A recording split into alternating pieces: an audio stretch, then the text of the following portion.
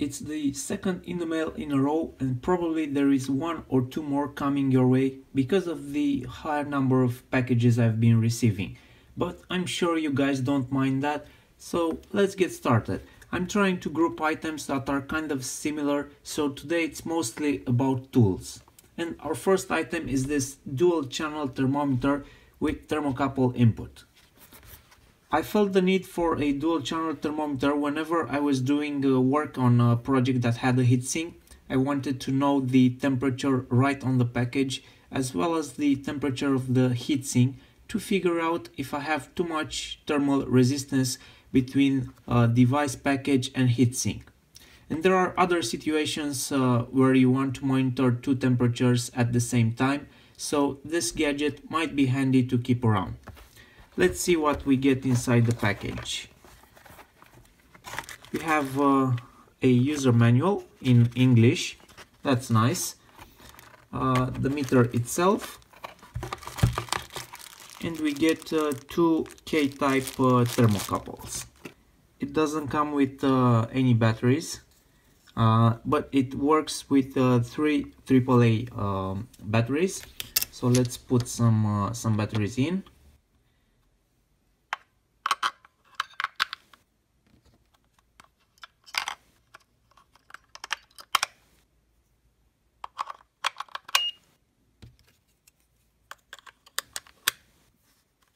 There are several models out there. I don't think this uh, particular one has anything special in terms of uh, specs. I just like the way it looks. It can measure various types of uh, thermocouples. You are not limited to just uh, K-type and you can switch between the uh, different types using the type button which will also update the display right here but we'll leave it on the K-type because uh, these two I know they are K-type thermocouples it can display um, Celsius and Fahrenheit as well and you can switch between those with uh, this button right here. It uh, can display both temperatures or the difference between T1 and T2 and it also has a min-max average function. The accuracy according to the specs is uh, plus or minus 0.1 plus 0.6 degrees Celsius. So that's not bad for, uh, for what I actually needed to do.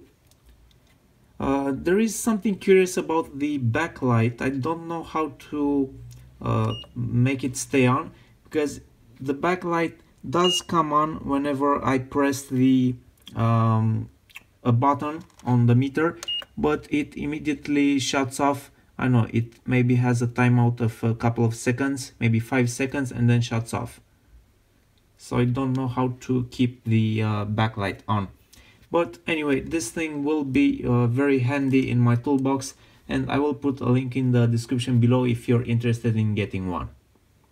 Next I have these uh, two soldering iron handles. These are for my Gordak uh, 936 stations. One hand glow, crappy but very inexpensive, about uh, under $3 with free shipping. So I go through these uh, quite fast I already used uh, one of them for a soldering job and there is a funny story with this. One day, a couple of uh, months ago, I needed a uh, new handle and placed an eBay order. A couple of days later, a new soldering job and I had the same problem. I needed a new handle. I completely forgot I ordered one two days ago, so I just placed a new order and only noticed this after receiving two packages with the same item. And a small spoiler alert, in two or three weeks I should be receiving an interesting soldering station from China and uh, we'll see how well it performs. It should be quite interesting. Our next item is this uh, magnetizer slash demagnetizer tool. This is intended as the name implies for magnetizing or demagnetizing the tip of your screwdriver. It's a very cheap tool, just $2 with free shipping but to be honest I'm not sure how often I'll be using it because I keep my day-to-day -day screwdrivers stored like this hanging from magnets stuck to the underside of the shelves right above my workbench. So I always keep my screwdrivers magnetized, I'm kind of used to it. But I never had a tool like this in my lab, so I decided to get one anyway. To use this thing you have to uh, run the uh, screwdriver shaft through the, the desired uh, slot in the tool, something like this. So running it through that slot will get it magnetized and running it through this uh, other slot should get it demagnetized. A link uh, will be in the description below if you're interested in getting a tool like this. Next I have this set of rechargeable AA nickel metal hydride batteries. The one hung low ones rated at uh, 3000 milliamps but suspected to be filled with sand as a viewer suggested instead of electrons because they have because they don't have anything near the rated uh, 3 amps capacity. I realized that a while ago and uh, they are very crappy but I still had this order placed for another set of 4. I mean they're still usable in a remote control or something like that. For example, I have this mini drone toy thing that I got a while ago and since I've uh, got it, it's been running on a set of these uh, uh, rechargeables and they, they didn't need any recharge in between. So that's about one month usage. So they're still usable for gadgets that don't have a high power consumption. But for anything more serious like a flashlight, for example, this is a flashlight that I always keep around my uh, my bench. In these ones you need uh, something better. And as you can see I'm using my uh, Vartas rechargeable here.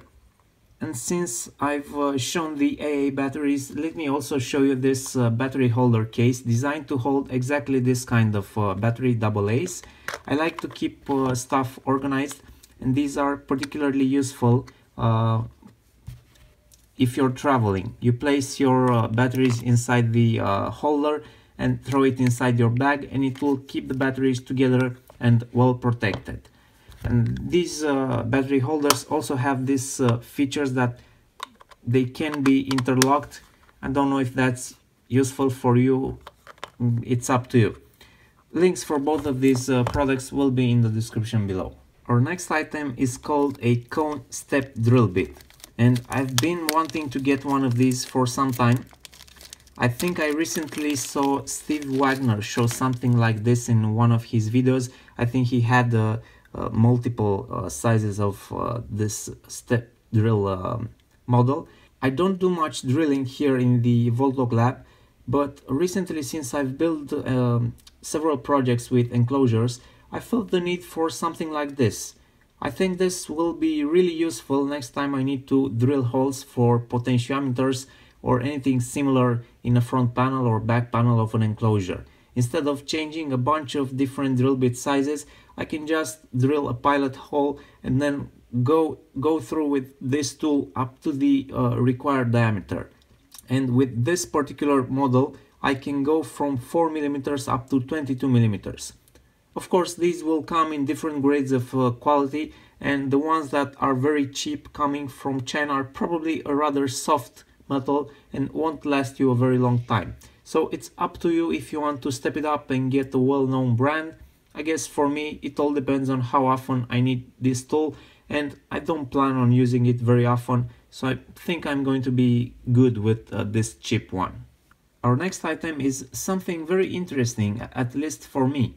And I'll start with a small story. Some years ago I was assembling some through-hole PCBs with LED bar graph modules and those particular bar graph modules with blue color LEDs were quite expensive and hard to get and sometimes they had the wrong polarity mark printed on them. So after finishing the assembly on some boards I was noticing that one out of 40 bar graphs that was uh, present that were present on a PCB uh, was not working because of wrong polarity.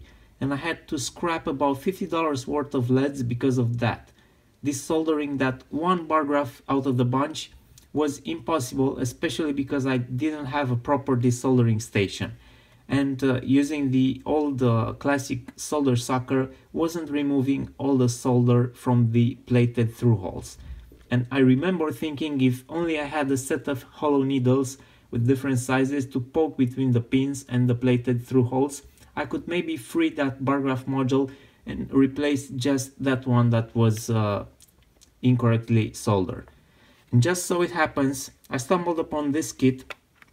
It uh, happened uh, a few years too late, but I got one anyway. because it might just come in handy uh, someday. The needles range from uh, 0.8 millimeters up to 2 millimeters in uh, 0.2 millimeter increments. And you also get a 1.2 millimeter solid needle pin. And it's all organized in this uh, small box. Very, a very nice kit for those doing uh, repair or desoldering jobs. So I will put a link to this in the description below. Our next item is a set of 5 diamond files and let me tell you I've been waiting for these for so long. They showed as in stock when I placed the order on uh, Banggood but then after a couple of weeks they went on back order.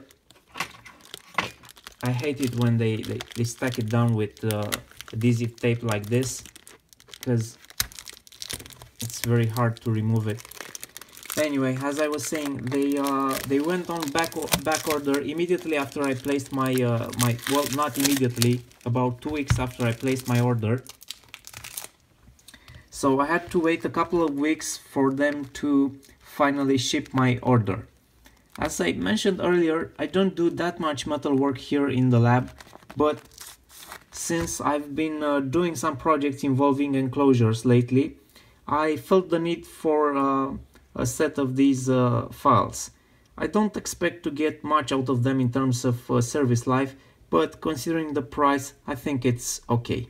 Next up, I have this assortment kit of brass standoffs. If you've been following my videos, you know that I like assortment kits and I was missing one for standoffs. Well, this one came with uh, 300 pieces hex standoffs and I have 8 different types in here this will no doubt come in handy because whenever I'm building a project into an enclosure, I find myself needing different size standoffs to mount the PCBs inside. If you click the link in the description, you will see there are other assortment kits available as well. They come in different sizes and you can get them made from nylon, black or white, or as in this kit, made of brass. So I think Next I'll be getting an assortment of the nylon ones because those are very useful when trying to get better electrical isolation or when you're trying to save weight. And the last items in this video, we've got some silicone lubricant oil, uh, some machine cup grease and a cup of uh, contact cleaner.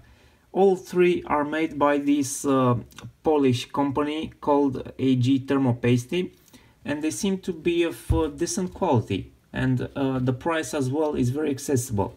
The silicone oil and the machine grease will be used to lubricate things like cooling fans, sliding bars, bearings and the contact cleaner, well, for cleaning flux of uh, PCBs and it also comes with this attachment brush which, which makes it really easy to clean off uh, PCBs. And this might be useful also for fixing uh, crusty connections. These are some chemicals that every bench should have because even if you're just doing electronics, sooner or later you are going to come across some mechanical stuff that needs cleaning, lubricating or fixing in some way. I've been using some uh, some lubricating oil for some time. I think I have this uh, this bottle for maybe 10 years or something similar but there is something strange with this uh, this oil let me show you what happens you see I, have also transferred some in this uh, transparent um, uh, bottle. And as you can see it kind of separates when it's uh, left on a shelf. And I don't know what why that happens but I'm, I'm I've started noticing this uh, this oil is not not very good and uh, doesn't lubricate very well. At least I've tried lubricating some uh, cooling fans and uh, they started squeaking uh, quite quickly after lubrication. So I think the the separation that happens with this oil is is a bad sign. Maybe I should uh, get rid of this uh, this oil. So that's why I got this uh, silicone oil as a replacement. Silicone oil is used a lot in the gun industry uh, in the airsoft industry as well. So you could try one of those shops to get some. It will be difficult uh, for me to put links to exactly these items because I got them from a local distributor and they are not so common on eBay. But I will still add some alternatives in the description below And as always, thank you for watching this. Don't forget to hit the like button and subscribe to my channel and I will see you next time.